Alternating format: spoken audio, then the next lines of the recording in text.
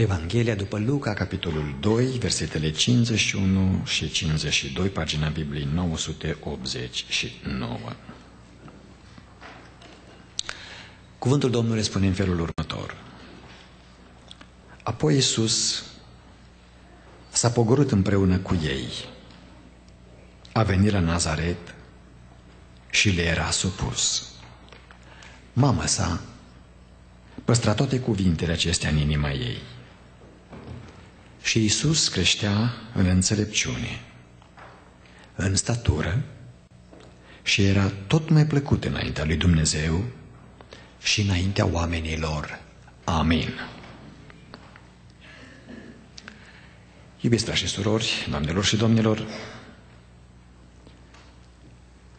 sunt două evenimente care m-au motivat ca în dimineața aceasta să citesc pasajul acesta și să vorbesc pentru familie. Primul, suntem în preajma sărbătorilor nașterii Domnului și Mântuitorului nostru Isus Hristos și cred că de la familia sfântă Iosif, Maria și Isus avem toate lucrurile de învățat. Cel de-al doilea au fost binecuvântările pe care le-am avut în dimineața aceasta în familia Filipescu și familia Soto. Și cu siguranță că este potrivit, cel puțin din când în când, să vorbim pentru familie. Mesajul cu care mă voi adresa dumneavoastră în această dimineață, nu numai celor două familii, tuturor familiilor, inclusiv familiilor dumneavoastră, cei de la internet, se intitulează Dezvoltarea de tip Isus. Sigur că este vorba de dezvoltarea omului. Dezvoltarea sau creșterea de tipul Isus. Mântuitorul nostru Isus Hristos a venit în lumea noastră și s-a născut ca oricare om. După naștere vorbim. A trebuit să fie ținut în brațe, a trebuit să îi se schimbe scutecele, a trebuit să fie alăptat, a trebuit să fie protejat, a trebuit să fie îngrijit. Și a trebuit să crească ca să se formeze și să ajungă apoi om mare, să-și preia și să-și asume poziția de Dumnezeu, pentru că el n-a încetat niciodată să fie Dumnezeu, chiar dacă a ajuns în bebelaș, și în această poziție de om desăvârșit și Dumnezeu în același timp, să se facă păcat în locul nostru și El cel nemuritor să moară totuși, El cel fără de început să aibă un început totuși când s-a întrupat și astfel să poată să desăvârșească mântuirea noastră. Dar cum a crescut Isus? Cum s-a dezvoltat El ca om?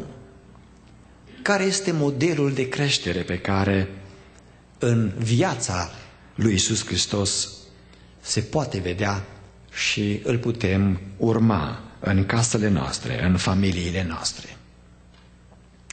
Modelul de creștere Iisus este un model împătrit. Un model împătrit.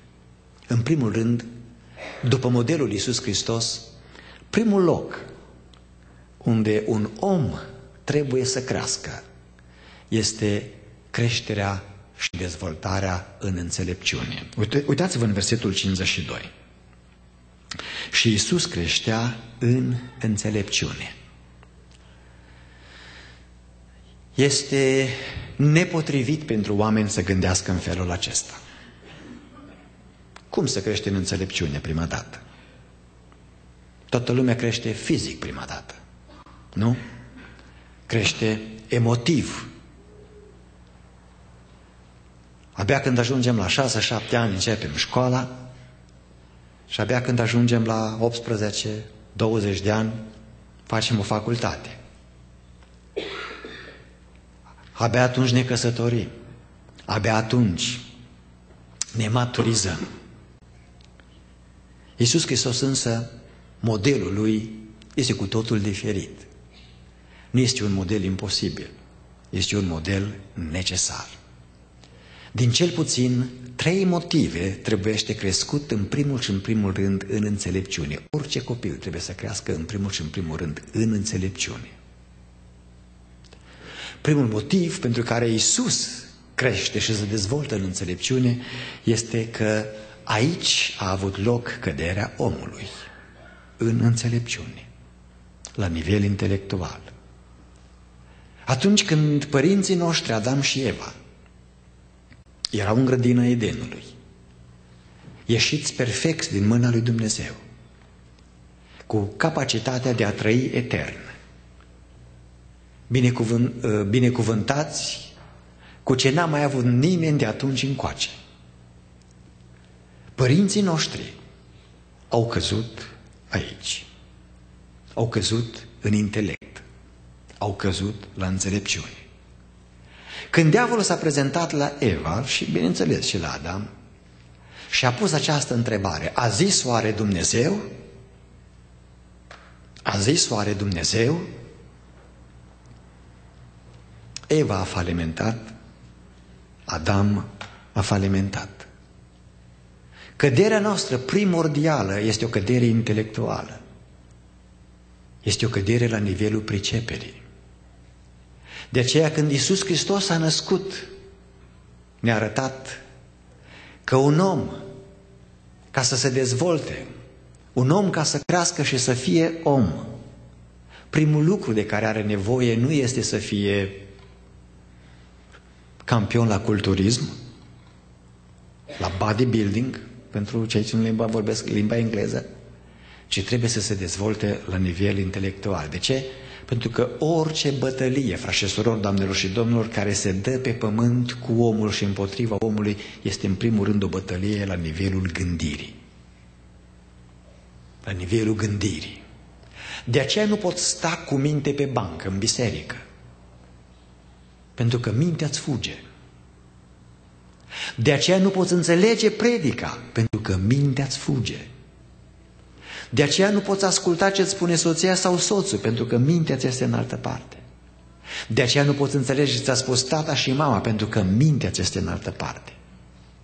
De aceea aluneci, pentru că mintea ți este în altă parte. Bătălie pe care cel rău o dezvoltă și o, o dă împotriva ta și împotriva mea este în primul și în primul rând o bătălie la nivel intelectual. Omul a căzut acolo și omul trebuie să se repare acolo prima dată. Iar Iisus Hristos a venit să ne arate că tocmai acest lucru se poate. Și omul se poate dezvolta intelectual, frați și surori, doamnelor și domnilor, încă din pântecele mame, din stare embrionară. Cum? Am citit un studiu și am rămas profund, profund, profund impresionat de ceea ce specialiștii în psihologia copilului de aici din Statele Unite, din Anglia și din Suedia au pus un studiu împreună în cele mai mari jurnale de medicină și în studiu se făcea următoarea afirmație. Dacă un copil, pentru că se întâmplă atâtea lucruri în lumea noastră, la trei luni, la șase luni, la un an, este violat. Pentru că sunt și criminali care violează copii. Și dacă un copil, alt copil, este violat la șase ani, la șapte ani, la opt ani, copilul care suferă mai mult este copilul care a fost violat la trei luni, la șase luni, la un an.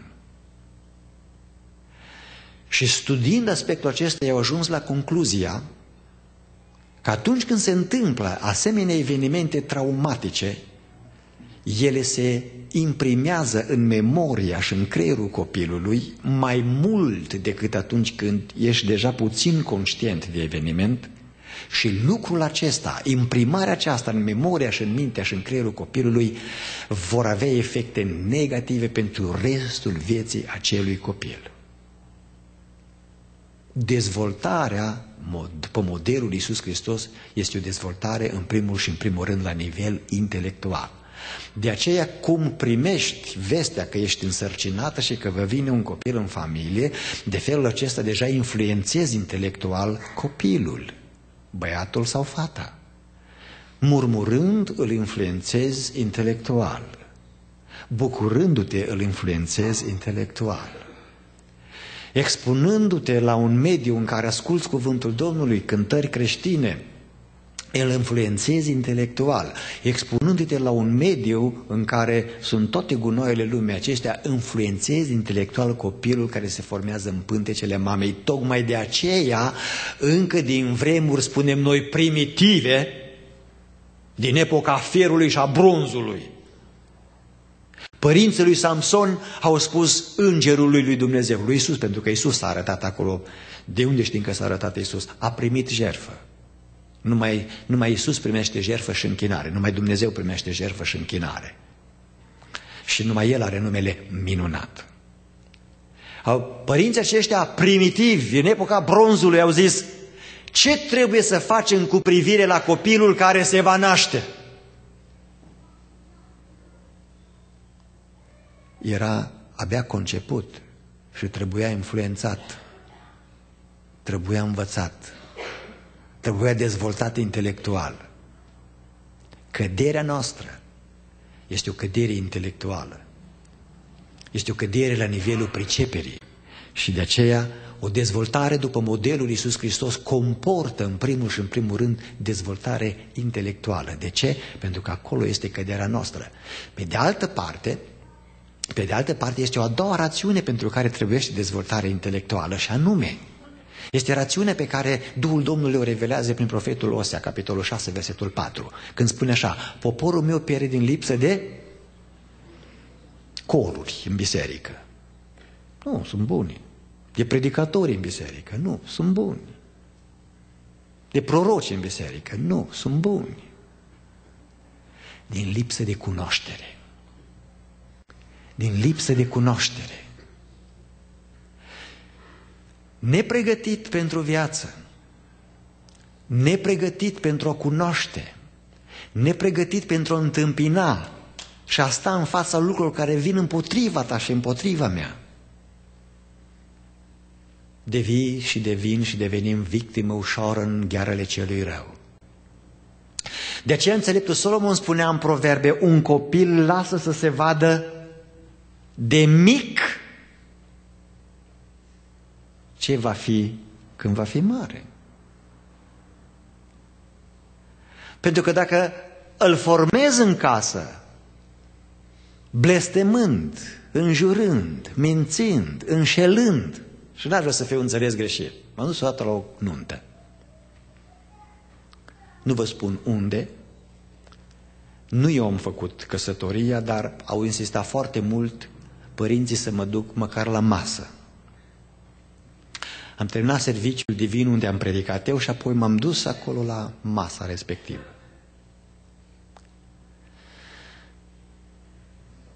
Copiii, așa cum se întâmplă oriunde, și la români cu precădere, fugeau pe afară, era o gălăgie infernală la restaurantul acela. Când am ajuns, eu am oprit și am zis, ei, Copii, haideți puțin aici. Băi, prea mare gălăgie. Voi, voi sunteți copii cu minți, voi trebuie să vă jucați altfel. Aici sunt vecini care o să vină și să, să oprească nunta. Unul dintre ei, foarte îndrăzneț, a zis către mine, dar cine ești tu? Și am zis, uite, și eu sunt un tată, și eu am doi copii. Dar cum te cheamă? Pe mine mă cheamă Lazar Gog. Ce? Gog? Ala păstorul? Zic, da, eu sunt. Dar fiți atenți. Deci așa e mă că tu ești un porc.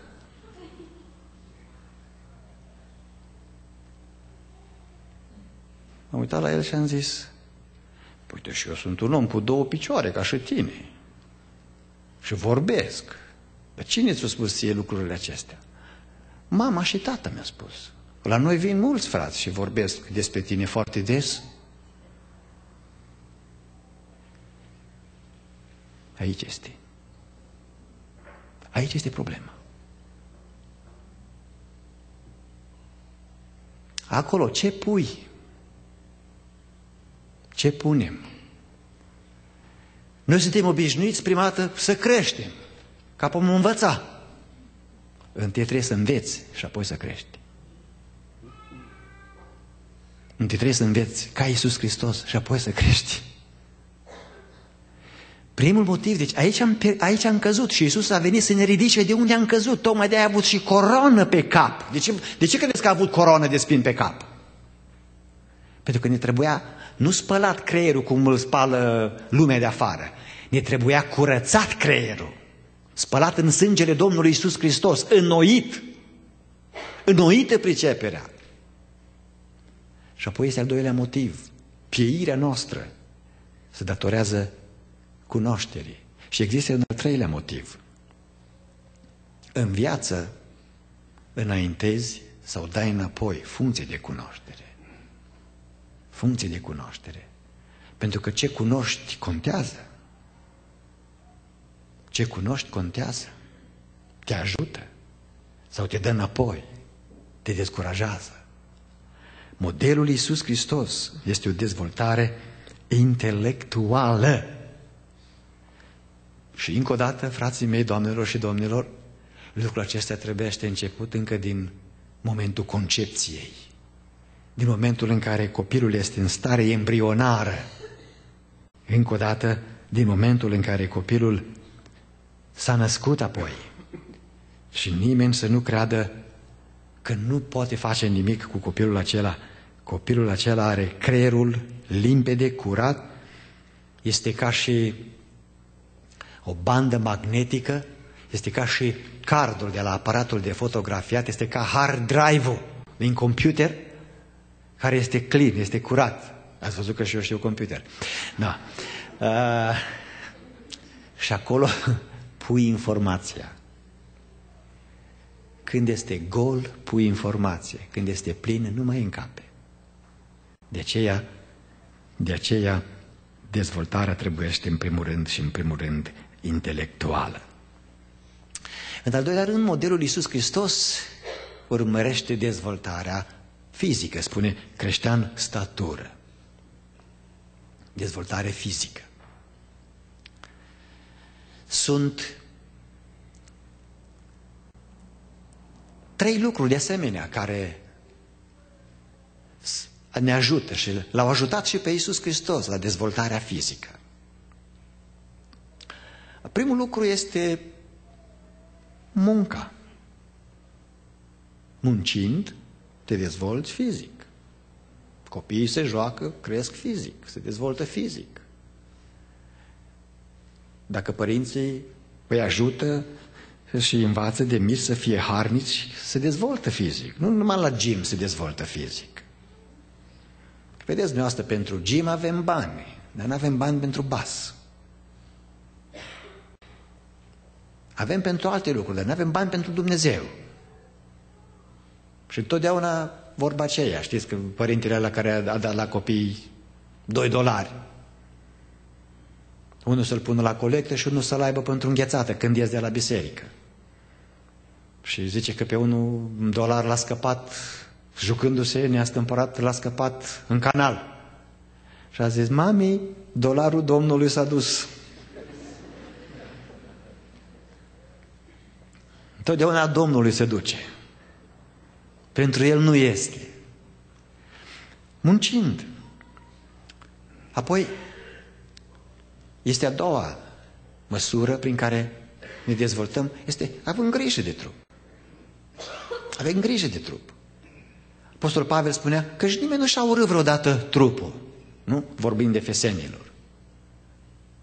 Ci fiecare îl îngrijește. De aceea trebuie să mai trecem pe la baie, trebuie să ne mai cumpărăm șampon, pastă de dinți. Trebuie să avem grijă de noi.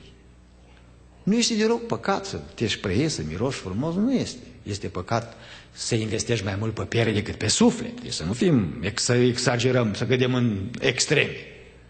Că sunt oameni care toată ziua sunt preocupați mai de piele. Și investesc mai mult pe pielea lor decât pe suflet. Nu așa se trăiește. Biblia spune trebuie să avem grijă de noi. Și apoi există latura cealaltă, este o dignă. Este o dignă. Nu te poți dezvolta fizic dacă nu te odihnești. Și trebuie să ne odihnim. Iisus Hristos s-a odihnit. Eu vă, eu vă amintesc mereu din cuvântul Domnului, um, unii nu vor să priceapă lucrul acesta, dar să vă amintesc și de data aceasta, pentru că suntem la subiect. Auziți cum vorbește Iisus Hristos cu uh, apostolii săi.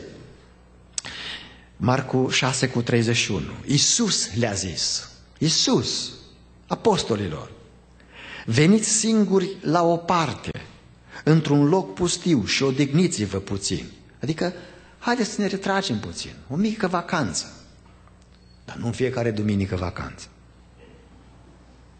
Nu în fiecare duminică vacanță. Nu de câte ori este serviciu divin, suntem la Big Bear, la schi. Nu se trebuie și vacanță. Trebuie și o dignă. E nevoie. Muncă, grijă, odihnă și lucrul acesta ajută la dezvoltarea fizică. Iisus Hristos cu siguranță a lucrat alături de tatăl său pământesc, de Iosif, în atelierul lui. Iisus Hristos a mers atât de mult pe jos, noi nu mergem astăzi, uh, pentru că mergem cu mașina și până după colț ca să punem scrisoarea la poștă. Uh, yes, avem probleme. Uh, să ne mișcăm de pe scaun, eu am, știu, puteți să mai întrebați pe cineva, vă spune același lucru, ehm, dar trebuie, trebuie, trebuie să fim harnici, trebuie să ne îngrijim, trebuie să ne odihnim. Apoi, există a treia dimensiune a dezvoltării noastre care ne face oameni, după modelul Iisus Hristos și anume este dezvoltarea spirituală. Deci, în primul rând, dezvoltarea intelectuală, creștea în înțelepciune. Este dezvoltare fizică, creștea în statură. Apoi, în al treilea rând, este dezvoltarea spirituală. Era plăcut înaintea lui Dumnezeu, spune aici cuvântul Domnului. Și cât de frumos este să, să te întâlnești și să vezi copii care iubesc pe Domnul. Copii care noi avem obiceiul, oamenii mai mari, să spunem, fii atent, vorbește ca un bătrân, cu așa înțelepciune. Vorbește ca un bătrân, pentru că iubește pe Domnul. Cine, cine vrea să fie plăcut lui Dumnezeu, o poate face în multe feluri.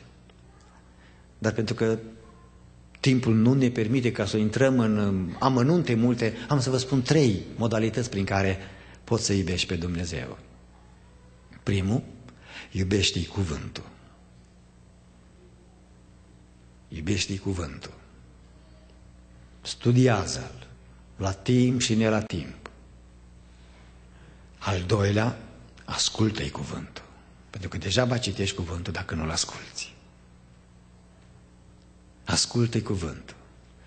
Pentru că, de fapt, frați și surori, doamnelor și domnilor, în lumea în care noi trăim se spune și se estimează că sunt două miliarde de creștini. Două miliarde de creștini. Dacă unui creștin care stă în fața ta și care și-a bătut soția și blastămă și fură și îi spui, măi, tu ești un păgân. Fuh. Este în stare în numele Domnului lui să te tai în bucăți. Cum ai putut spune că e păgân? El s-a născut creștin, neam de neamul lui. Creștin.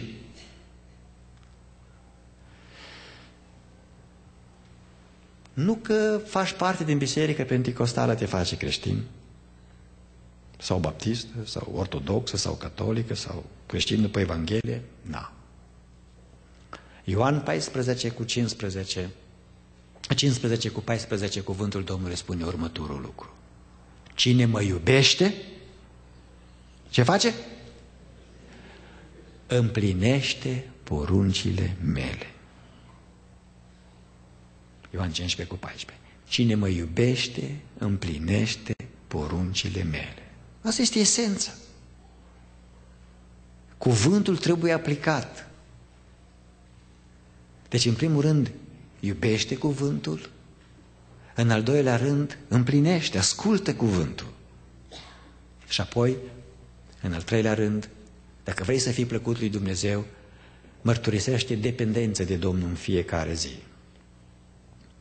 În rugăciune și în tot ce faci.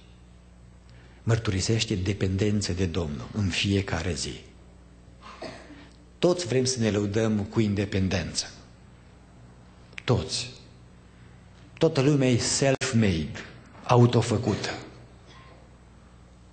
Și tot e la modă în vremea noastră self, self, self-made milioner, self-made inginer, self-made păstori, self-made, de toate sunt self-made.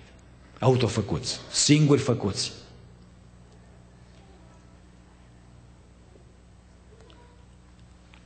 Însă vă spun formula lui Isus Hristos. Formula lui este aceasta. Veniți după mine și eu vă voi face. Veniți după mine și eu vă voi face. Trebuie să depinzi de Domnul. Trebuie să depind de Domnul. Trebuie să mărturisesc dependență de Domnul și atunci sunt tot mai plăcut și înaintea lui Dumnezeu dezvoltare spirituală. Și apoi este cea de-a patra dimensiune într-o creștere după tipul Iisus Hristos, este dezvoltarea socială. Și era tot mai plăcut înaintea oamenilor. Dezvoltare socială. Am să vă dau trei rațiuni pentru care este nevoie de dezvoltare socială. Primul, prima rațiune, este pentru că trăim între oameni. Trăim între oameni. Nicăieri n-a cerut Dumnezeu sfinților săi să se facă pustnici, să se călugărească. În istorie a rămas celebru unul, cine a studiat un pic de teologie și istoria creștinismului, este așa numitul Simeon Stâlpicu. Ați auzit bine? Simeon Stâlpicul, de la stâlp. 20 de ani a trăit în vârful unui stâlp. Se coboră de acolo numai când chemarea naturii îl chema jos. În restul, a stat în vârful stâlpului, zicea el să se roage, să mediteze și să nu se atingă de restul lumii să se întineze.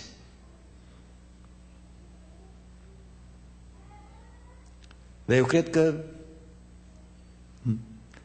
nu știu, cred că a crăpat stâlpul ăla de mândria lui. Ați văzut? Ca mine nimeni nu 20 de ani într-un vârf de stâlp? E ceva. Trăim între oameni, frați și surori, doamnelor și domnilor. Și de aceea avem nevoie de o dezvoltare socială, de relații sociale. Un om care se izolează de lume este un om care încă nu e dezvoltat. Nici intelectual, nici emotiv, să nu mai vorbim spiritual, pentru că cel de-al doilea argument pentru care avem nevoie de dezvoltare socială este că, potrivit cuvântului lui Dumnezeu, spune Sfântul Apostol Pavel, eu sunt dator și iudeului și grecului. Cunoscând pe Dumnezeu, tu ești dator societății, eu sunt dator societății și datoria pe care o am acestei societăți este una dublă. Prima este să mă duc și să vestez mântuirea lui Dumnezeu cu cuvântul. Și cea de-a doua, dacă nu știu să vestesc această mântuire cu cuvântul, spune Sfântul Apostol Pavel, iată cum trebuie să fim noi priviți și cum sunteți voi. Ca niște epistole vii citite de toți oamenii. Scuză-mă, dragul meu, dacă te ascunzi într-o peșteră, cine te citește? Lilieci. Și gândace.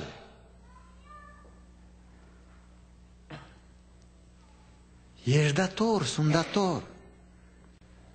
Dumnezeu ne-a dat mântuirea Lui atât de frumoasă, adevărata mântuire, singura cale, Iisus Hristos, nu să o păstrăm doar pentru noi, să o ducem și la alții, să o spunem și altora. Deci ne naștem în societate de oameni și de aceea suntem datori. De aceea trebuie să ne dezvoltăm social. Apoi, din perspectiva noastră creștină, suntem datori societății. Trebuie să-L prezentăm pe Hristos aceste societăți. Și este un al treilea argument, frați și surori, doamnelor și domnilor, pentru care ne trebuie și dezvoltare socială. Avem nevoie de societate. Societatea are nevoie de tine. Românii au un obicei, hai să o luăm simplu, să, uh, uh, înainte de, de a încheia. Românii aveau, da, și la americani este obiceiul acesta, să ai relații bune cu vecinii. Mi-aduc aminte când eram în România și eram copil, mama mă trimitea, zicea, du-te până la Lelea Veronică și spune să ne dea niște poprică. Pentru că n-avea cu ce să facă tocănița.